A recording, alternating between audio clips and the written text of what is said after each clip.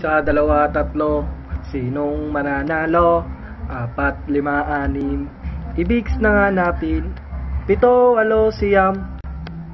Hindi na siya nagparamdam.